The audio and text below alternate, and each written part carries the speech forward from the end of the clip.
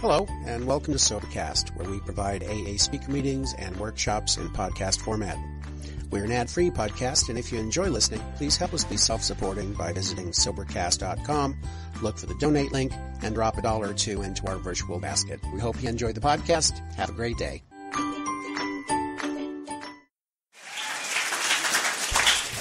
I'm Tanya, and I'm an alcoholic. I like to say I'm an alcoholic who will go to any lengths when it comes to alcoholism, which you will hear in my story. Uh, there's a part in the book in uh, there is a solution that says. Uh, further on, further on, clear-cut directions are given showing how we recovered. These are followed by 42 personal experiences. Each individual in the personal stories describes in his own language and from his own point of view the way he established his relationship with God. These give a fair cross section of our membership and a clear cut idea of what has actually happened in our lives. This is the applicable part when it comes to my story. We hope no one will consider these self revealing accounts in bad taste. Our hope is that many alcoholic men and women desperately in need will see these pages or stories and we believe that it is only by fully disclosing ourselves and our problems that they too will be persuaded to say, Yes, I am one of them too. I must have this thing. My sobriety date is January 10th, 2012. I got sober in uh, Fresno, California. If you're looking for a bottom, you can find it there. I highly suggest it. I highly suggest it. Um, I have a home group. It's um, the Friday night meeting of Pathfinders, and I have a sponsor. His name is Rick, and he knows he's my sponsor. And we, why are you guys laughing? Why is that funny? Uh, and we do step work, and we meet regularly. We talk, and I fully disclose myself to him because accountability is something that I discovered in Alcoholics Anonymous works very well for me, as much as at times I don't like it. Um, my is a lot like a lot of other people's. I drank a lot of alcohol, a whole lot. It was never enough, but I drank a lot and it earned me a seat here in these rooms. I grew up in a household that did not have alcohol. In fact, it was completely anti alcohol. My mom is, I like to say she's an untreated Al Anon. We had an uncle who lived in my home who drank excessively. And I remember her getting up in the middle of the night after he had passed out to put chalk marks on the tires to see if he would get up and drink and drive the car. But the funny part is she never addressed it.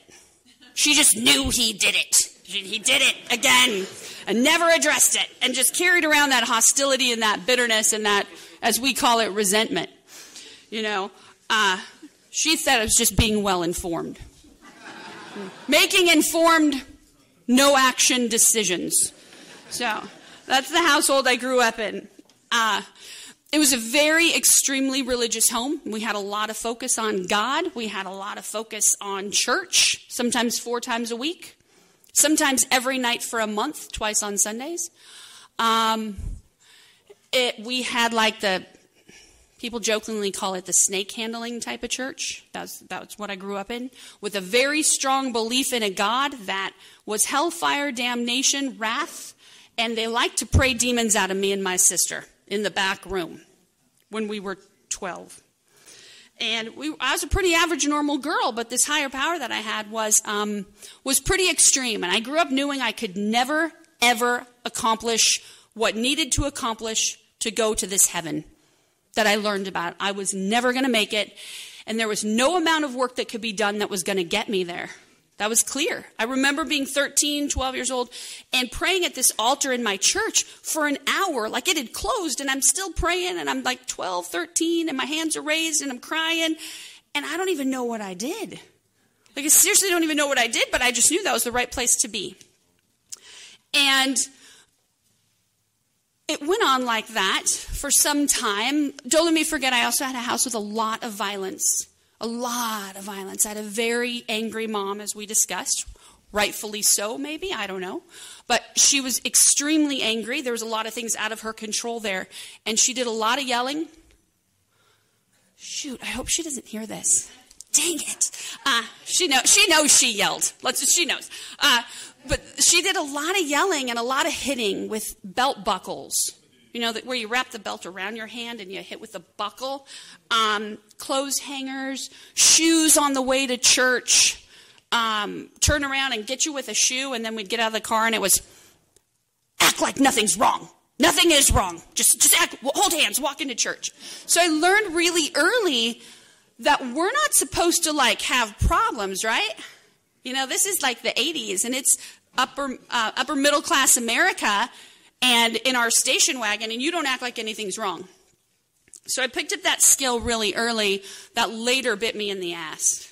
You know, so I I went through life that way, going to church, and there's a part in Bill's story where he talks about, you know, um, moments sublime with intervals hilarious. He was part of life at last, and in that time he found liquor.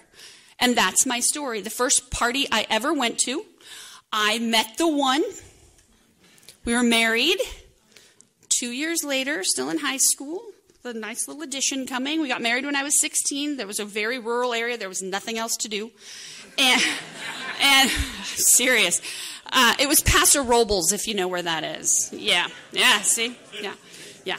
So we got married and we went off on this journey. And I, he was in the military. He worked for Department of Defense. He was a fireman. And all these external things. And I have this beautiful baby. And life should be okay. I, gra- I was really intelligent. I graduated high school at 16. I was going to college to be a court reporter by the time I was 18. And, and it was good on the outside. It really was. In fact, I went back to my high school and they said, You're not welcome here. You make it look good. Girls are going to have babies. You're going to make this look good. You can't be here.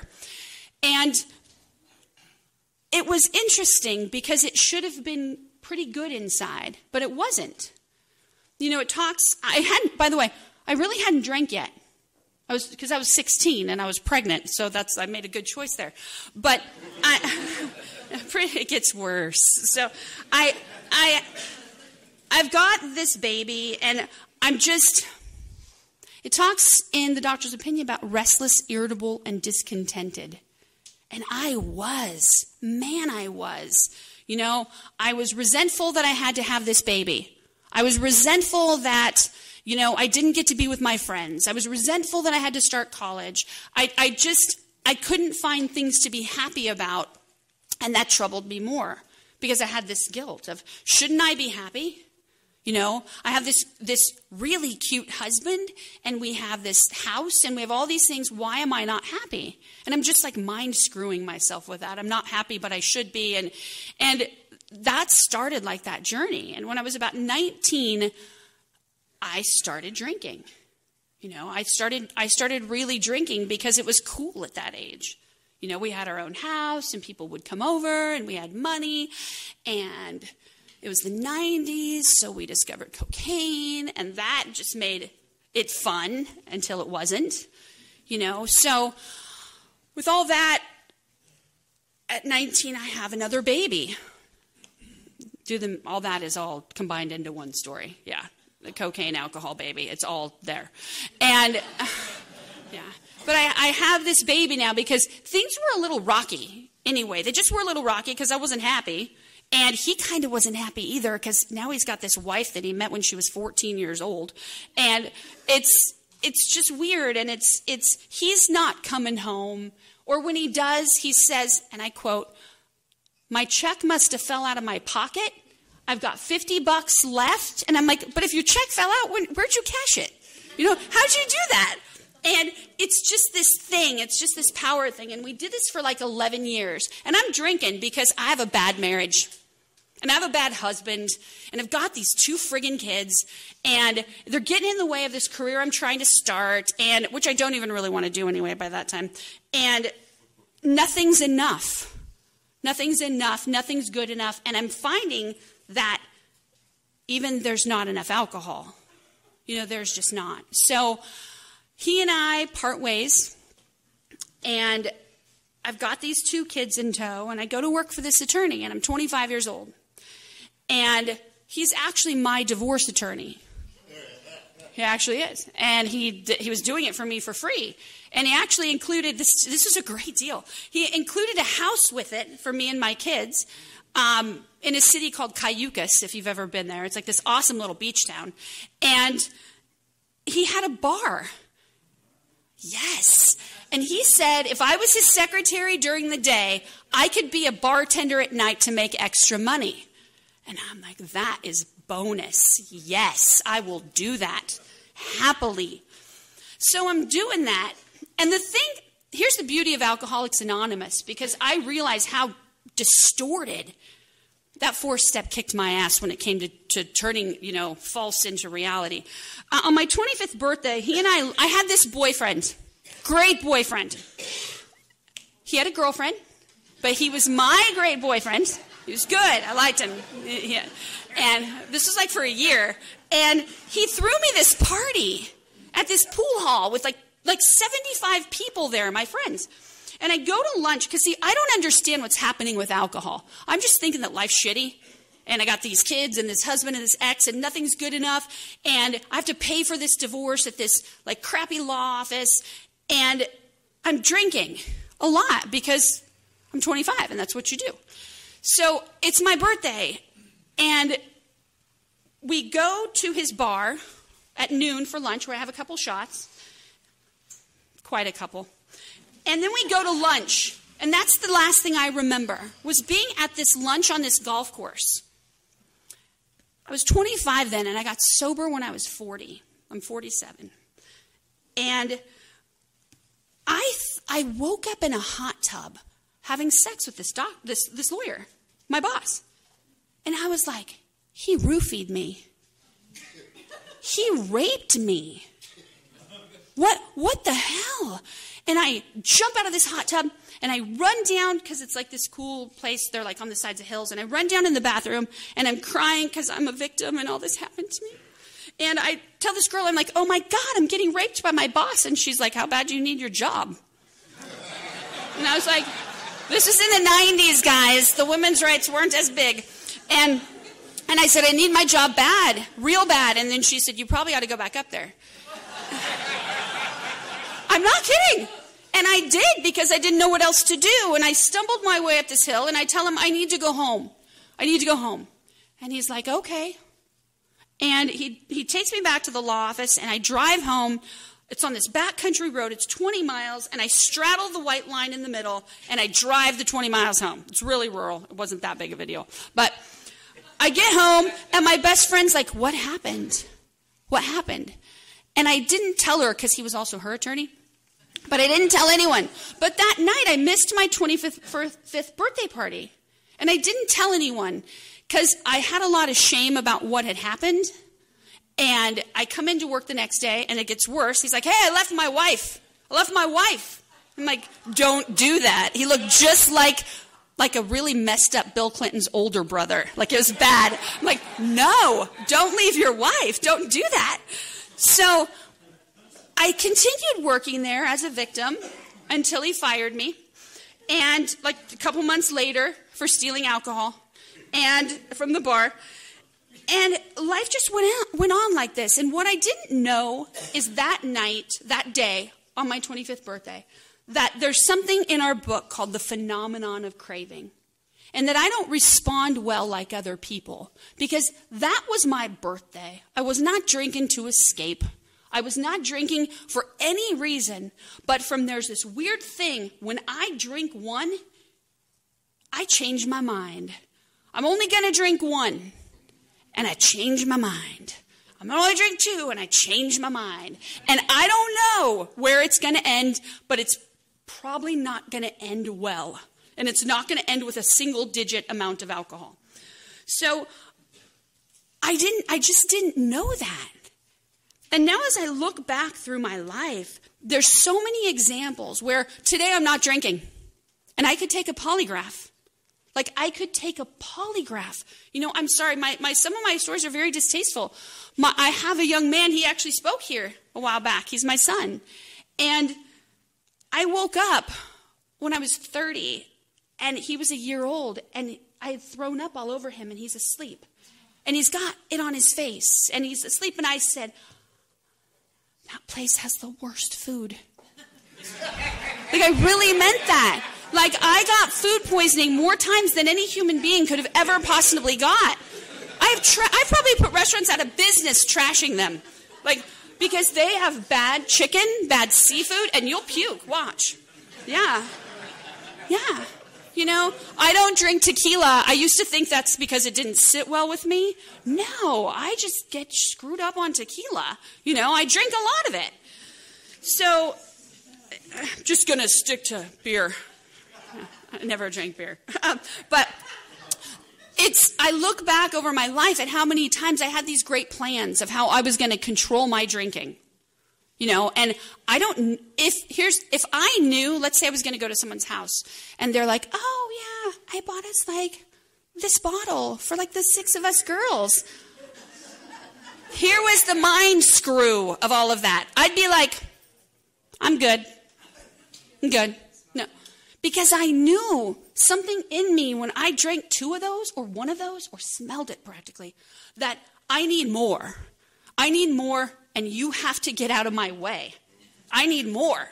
And if you hold my keys and you're not going to let me out, I'm going to go through your medicine cabinet and I'll find something to calm that out, that craving for alcohol. In the meantime, you know, I'll go through your purse. The, are, you know, are those what are those things? Are those Tic Tacs or are those Valium?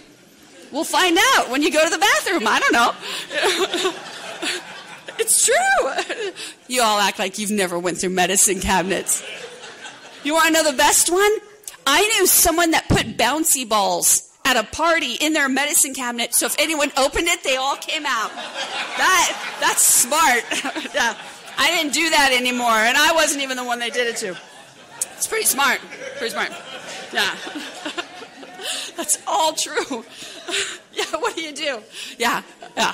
So, uh, I, I, I thought I could control it because sometimes I'd turn it down. But I realized I really only turned it down on the times when I knew there would never be enough. You know, because I'm the girl who leaves parties, her own party, to go get alcohol at a club 40 miles away. Like I did that. You know, I did that. That's because that's how I am. Because when I take a drink, it takes me. And I'm along for the ride, and I don't know where we're going. I don't know what we're doing. And my life got to this point, I don't know who I'm victimizing, and I don't know who I'm using. But you're going to be on one of those lists. You're going to, I'm going to hurt you, or I'm going to take from you, which is probably going to hurt too. And so I go through this life, you know, on the outside, for many, many years, that life looked a lot like the life I have now on the outside. I had good people in it. I had a nice home. I had friends that came around. I had people that called. I had a job. And I just, I could get these things. I just couldn't keep them. Or if I got them, I just wasn't content with them. You know, there's this guttural thing in me that I need more. And it wasn't just alcohol, or I need different, or I need to go. Like, I just need to go. I don't even know where I'm going, but I gotta go. I gotta go. You know, that's, and unfortunately, that doesn't always go away. I moved to Florida for a month last year in sobriety. I moved back. Yeah, there's way too many banjos. Uh, there's no, no banjo players here. I don't mean that bad. It's figurative. But, it's bad. So, yeah. You know you can still smoke inside there and ride in the back of a truck and you don't have to wear a helmet. Yeah. Yes, it was interesting. So I have this life that I would just leave. I would just leave. I would just walk away from it if something got uncomfortable. Because you see, in a house where you grow up like I grow up, the best tool you have is this get this big and get loud and get mean. Like that worked when I was like that worked. That was the household I grew up in, and I was able to use that tool for a while to get through life. But I found that my world got smaller and smaller. You know, my my craziest crazy, I mean crazy, crazy friend. She sat me down towards the last couple years of my drinking and she said, "I can't watch you do this anymore. I can't watch you. Like the people you're with, Tanya, you run I'm in geriatric health care. I hang out with old people all day, you know? But I go home at lunch because my house is nearby and get into all kinds of mischief, and then I come back. And then when I'm too hungover, I take Xanax and ecstasy in the morning to go to work because it makes me more likable. I was doing it for my staff. I'm serious. I'm serious. And then I got fired for erratic behavior. What kind of bullshit is that? Who does that? You know? So, yeah. I asked them to explain it, and their exact words were, We'll make it simple. We just don't want you here. And I was like, erratic behavior is good. That sounds better. We'll go with that. So I have this life that I'm losing job after job. I've literally had my role in every possible community in San Luis Obispo. There's no other jobs for me. So I get fired for erratic behavior.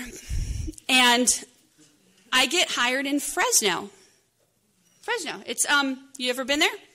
Don't, you don't have to raise your hand. You don't have to. Don't, don't admit that. You know, uh, I get recruited to Fresno, and I am ready. See, because I have this little boy that, you know, if a chocolate lab breeds with a chocolate lab, what's it going to have? Chocolate lab.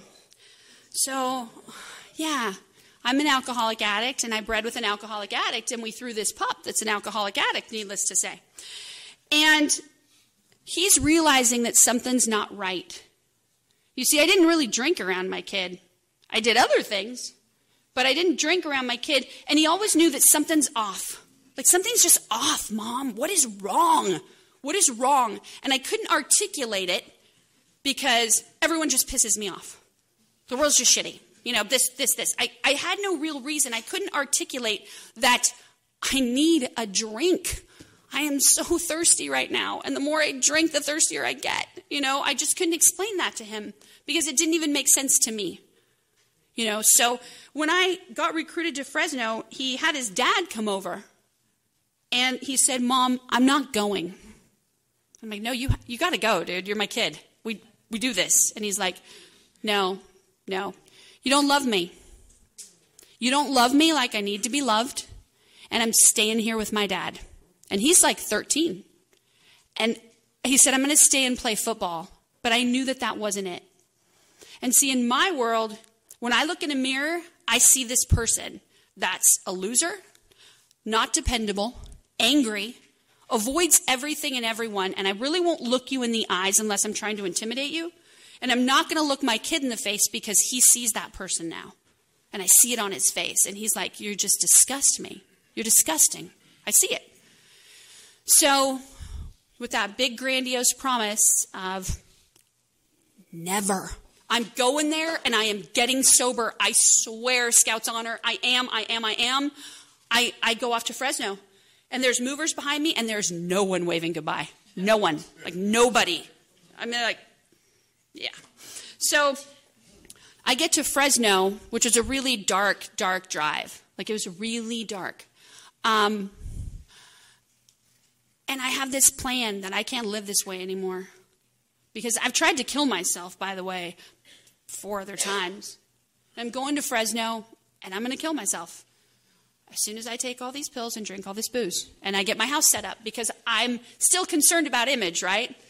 People, I don't want them to find me in boxes because I don't know how long I'll be there because no one knows me in this town except for the seven Plenty of Fish, Tinder, OKCupid dates I lined up, one for every single arrival date. I did do that. Every girl needs a backup plan. I did do that, you know. So I, uh, didn't work out as planned because day number one dude is right here still. So that didn't work out as planned. so I go to Fresno and I'm, I'm going to kill myself. And I get my house all set up and I meet this guy, and I'm like, it's better than dying. Whatever, fine, whatever. He likes to drink. That's awesome. So, yeah, like first date, I'm literally saying shit like this I'm gonna fuck you up. Like, I am a human steamroller, and I am just gonna flatten you. Like, I'm saying that. Like, it's flatten you. You are a sick individual to be even trying to date me. Get out, run for the hills. Like, I'm saying that. And he's like, oh, she's so broken. I can fix her. I can. She needs me.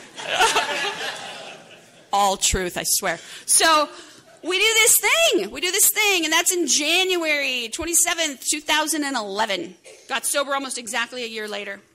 And I've got this kid, and I want to see him, And I'm trying so hard to stay sober in between, but the day before that he's supposed to come, I am so uneasy because I know I have to see that look in his eyes and I'm scared. And I'm just, I'm sick with myself that I'm living in Fresno, that I hate my life, and I just want one drink. Just one drink will help me feel better and I take that one drink and ruin the whole weekend that he's coming because I'm sneaking and I'm drinking and I'm sneaking and I'm drinking and I'm doing things like going to the movies and buying laptops so they don't have to look me in the face. Don't have to spend time with me, right?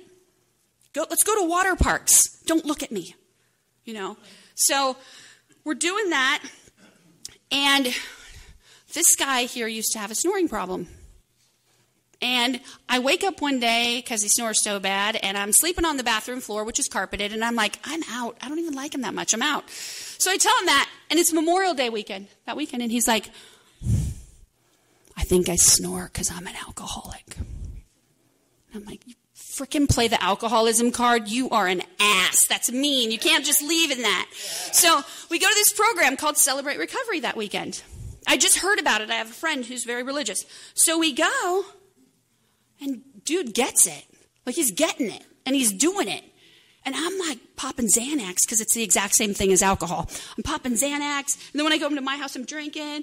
And it's time. You do these as a group, these steps as a group. And I've got a little girl over here who's got like anger issues. And I got another one who's got some eating issues. And I have another one who's got like spending issues. And then you got me. And she's like, okay, we're going to do four steps and we're going to read them all to each other. I'm like, oh, hell no. No, no. Mm-mm. I'm not doing it. I, and I'm like a cat, not going in the bathtub. And she, and she, this group leader pulls me aside and she said, Tanya, I think you'll find your people in Alcoholics Anonymous.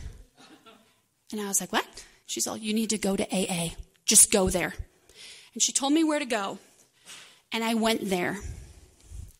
And I, I kind of believed it, but he went out of town, and then June 30th, I like I remember looking at this drink, and I remember waking up in my bed.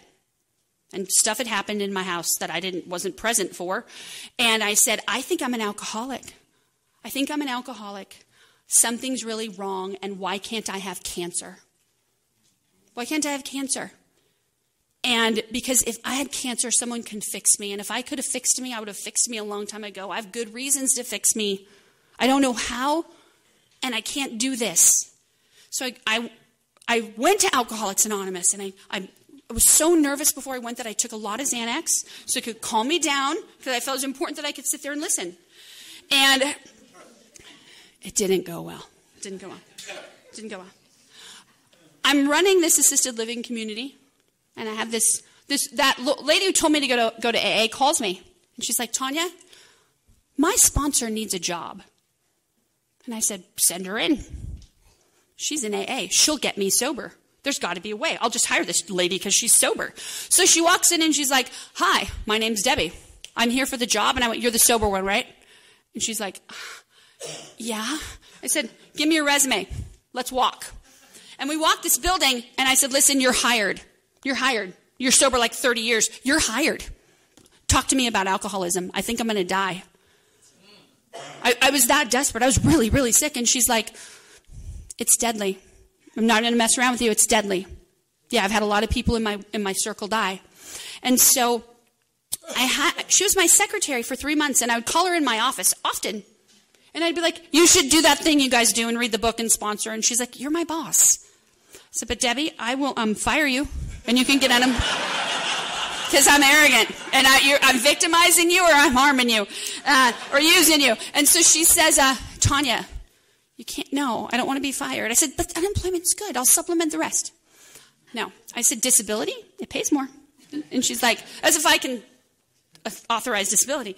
And so she's, uh, she's watching this progression and she's a good AAer and she's quiet. But I see concern on her face and I get fired again two six figure jobs in a year for erratic behavior. The crazy part is, I was sober 17 days at that point. I really gave it a really good try, and I was coming out of my skin. Like, I was so uncomfortable that they came in and they fired me.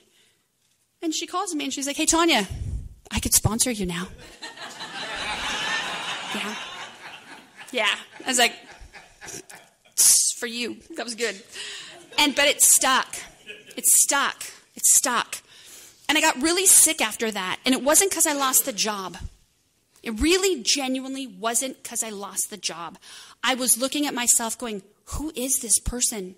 This is not the person I wanted to be. What I would give to go back and have any chapter of my life restated right now. Like, just go back. The crappy first husband. I don't care. Just give me anything. Not this. Not this. But when you looked on the outside, it still wasn't that bad. It was just this in, internal condition. So I decided I was going to end it. And someone took me to a mental institution. Great place. Great place for me at that time. In Fresno. A little scary. And I was hearing them talking about me through the walls. Like I was hearing it. And I knew something was really wrong, and they let me go. They actually let me go after like five days.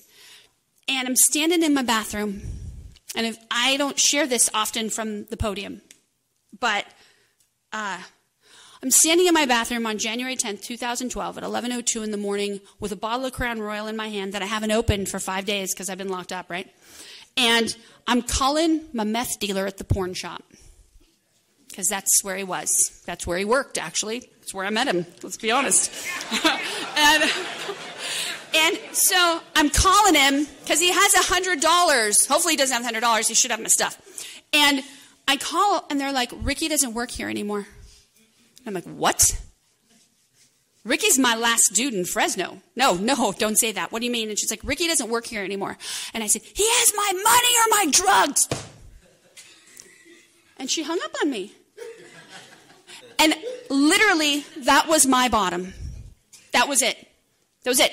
It was game over. I was out of options because I'm very creative and I will make solutions when they aren't there, even if they're half assed solutions. And I audibly said to the universe, What the fuck now? That's a prayer. If you don't know that, don't say it. Don't say it. That is a prayer because I meant it. It was, it could have been, I got nothing. Please help me, God. I'm on my knees. I wasn't, I was in my bathroom. But I said that and I knew because this is my story. This is where it gets weird. I heard, Tanya, it's over. You don't love you, and I've always loved you. And I don't know what the fuck that was, but I could tell you that it was real. Because I know that it was real because in that moment, I've never wanted to drink again. Never. Like I felt it like like I don't need like a demonic possession. It left my body. And I called Debbie and I said, Debbie, Debbie, I don't want to drink. She's like, Tanya, it's 11 o'clock in the fucking morning. Don't drink. I said, no, Debbie, Debbie, I don't want to drink. Because, see, a girl like me, I was a surrogate mom twice. And those babies didn't live because I have to drink. You know, I drank through multiple of my own pregnancies because aren't isn't that when we're supposed to be proud of who we are and do what we do and help other people and all of those things? I couldn't do it. I couldn't do it because that phenomenon of craving and that obsession of the mind is bigger than me. Hands down bigger than me. And she said, "Tanya, go to a meeting right now. Right now. What you have will not last. It's called a moment of clarity. It's a moment that the universe blesses with you with because someone as crazy as you can't even read the book. And I had that moment of clarity, and I went to a meeting, and this man walked in. His name's John Stewart, and he was wearing a suit, and he said, "How you doing, kid?" And I'm in sweats and a tank top and flip flops, and it's January, and it's cold, and it's raining. I said, "I'm good. I'm good." And he said, "Your outsides match your insides, kid." And I was like, "Oh, thanks." That's not a compliment. And you know what? He was the kindest person ever to call me on my bullshit. And that image that I had learned in the car on the way to church as a kid about keeping it together and don't let people see, and no one can know what's happening behind the car door, behind the door to the house, behind the door to my heart, that just flew open. And I knew in that moment that it was going to be okay. I knew that there, there was things to do because I'd heard on Xanax. And I knew there was work to be done, but I had this willingness now. I had this eagerness because I saw these people talking in big sentences and I saw them, their message, and they were laughing. And I hadn't laughed in a long time. And Debbie walked in because she left work. And she looked like she had been dipped in glitter. You know those women in the pro, she wasn't a stripper. No, you know those, no, I don't mean. No, but you know those people that just shine in Alcoholics Anonymous? Those ones that it's the principles in all their affairs. It's a clean conscience and it's a higher power of their understanding. And you see it in the eyes. You know, in Bill's story, he saw it in Ebby, and I saw it in her. And she said, We got to get to work. We got to get to work. And I said, Debbie, I'm going to die. And she said, Tanya, you've been dead as long as I've known you. Everything about you's dead. You equate living to a beating heart. That's all life has been reduced to for you is a beating heart. Your family, your children, your dreams, your hopes, your relationships, everything is dead. It's gone. And I probably the first time in many said, fuck you, Debbie. But, but, but she's right. You know, she was right. There wasn't anything left. And I had, was fortunate to have a lot of time because nobody really wanted to be around me at that point. Rightfully so. See, I have abandonment issues. I love to tell people how they're all going to leave. You're all going to, you're just going to leave. You'll leave. And if you don't, I'm going to treat you so poorly that you're going to leave so I could say I told you so. I'm textbook at that stuff. And she wasn't leaving. She wasn't leaving. I knew she wasn't leaving. And she took me through those steps. And she explained that I have a body that once I put alcohol in it, I can't stop, as indicated by my past. Not the book, not her past, my past. She like would bait me into like admitting things and be like, "See? There you go." And then she said I have a mind of a chronic alcoholic. It's going to keep doing it forever and ever, and it will go back to a drink because it still sees it as a solution. And why wouldn't it? It was a solution to my bitchiness for years, you know? So, alcohol was a good friend for a long time, really good friend. And she took me through those steps at her pace, and she said, Don't be thinking in three weeks you're going to be telling me how to do this. I got a lot of people who want to go through the steps, and you're going to be in my house on Tuesdays, 7 o'clock. We're working till 9.30, and I'll work more than that if you want to, but that's the minimum. And we did that, and I worked more because she said something that was really interesting, and I didn't like this. After we did step one, reading together word for word, that's how I do it too. She said, What are you going to do if you want to drink, Tanya? And I was like, Handy dandy AA phone list. Women, men, other people, 30, 40 years of sobriety on this phone list. I'll call them. And she goes, You didn't remember you had kids. That phone list isn't going to keep you sober. It's not that the sponsor's not going to keep you sober. In fact, if the obsession to drink hits, you won't remember AA. And that scared me a lot. That scared me a whole lot. And I was like, what do I do? And she said, you pray your ass off. And I was like, but, but the God thing. And she said, listen, kid, you need to have a spiritual awakening. And I was like, well, how do I do that? She was like, wow, you are not that smart. Having had a spiritual awakening as the result of the steps. You do the steps. You have a spiritual awakening. And then she gave me this release. She said, Tanya, it says, came to believe a power greater than ourselves could restore us to sanity. You don't have to figure out the man with the robe, the guy with the belly. Like, you don't have to figure that out. You just have to be willing and do the work. And in the end, you'll get it. You'll get it. And we screw over a lot of newcomers in, in believing that you need to figure out the highest power before we could go to step four. And it doesn't say that. It says a higher power, bigger than me and bigger than whiskey. That's all I needed to do. And my life clearly showed that whiskey was a power greater than me. It dictated everything. And she's like, Come on, Tanya. One thing bigger than you and whiskey? Just one? Can you do that? I'm like, Hell yeah. If, it's, if you're telling me that. And I did that four step and I read her some secrets and I told her about puking on my baby. And I told her about all the other things that I had done that I swore I would never tell another human being. And she was like, I used to be a hitman for Pablo Escobar. I was like, well, then I think I have a couple more secrets to tell you. and I did.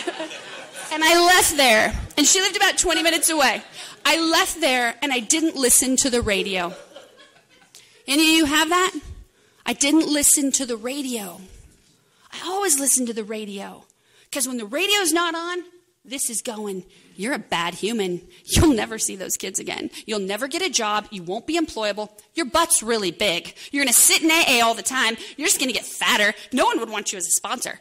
That's my head all the time, even now sometimes. And I didn't have that. I didn't have that. It was quiet. It was quiet. And it was the first time that I really, really got that this stuff's going to work. It's going to work. I have faith in this. I have faith. I have faith enough to do the rest of it. And I went through those steps and I had to look at myself in six and seven. Because, you know, I used to have this mindset of, that's how I roll. You don't like it? That's how I roll. No, that's not. That's called being a bitch. That's not okay. That's called being rude. That's called being judgmental. That's called being disrespectful. You know, that's not how I roll. Like, that's not an out. It's not an out. You know? So I did that, and I made a list of all people who I, I had harmed. By the way, there's a couple ways to get high in Alcoholics Anonymous. Do those amends. Do those amends. Look the people in the face that you harmed and have them go, You did that? I don't even really remember, bro. Like, we're good. We're good. And you're like, You were nine pages of resentments. And they're like, I only wanted good for you. You know, and then you realize, like, everyone in the world isn't bad. They're not. And some of them even say things like, Man, I miss you. I miss you. You know? So um, I made 19 amends in one weekend. Four ex husbands. What? Oh, yeah. Oh, yeah. Kids, mother in laws, every. Oh, yeah, yeah. Yeah. So, and now, now I get to do 10, 11, and 12 every, every day. And I get to speak and I get to share my experience, strength, and hope. And I get to tell you that if you're struggling with alcoholism and you find that you think you can manage it and inevitably you change your mind, it doesn't have to be that way. It doesn't have to be that way. And the worst part is this is a progressive disease. I gave it to two of my children, maybe a third, I don't know. But I gave it to two. One has a year, one has six months. And I got to hear him, you know, I did my fifth step yesterday, mom. And I'm like, oh my God. Oh my God. You know, alcoholism, I led my kids down a path genetically and behaviorally that, um, that harmed them. And I had to give that to God in the third step and say, Your will, not mine, be done. And inevitably, I didn't have to do that much. I really didn't. And now they're like, Mom, I'm in AA. You taught me that. You taught me that. You know? And that's Alcoholics Anonymous is a beautiful program and it really, really works. Ask someone, get a book, read it with them. Read it with them, you know, and, and take these steps and you don't have to live that, that way anymore. You know, I'll help you. So thanks.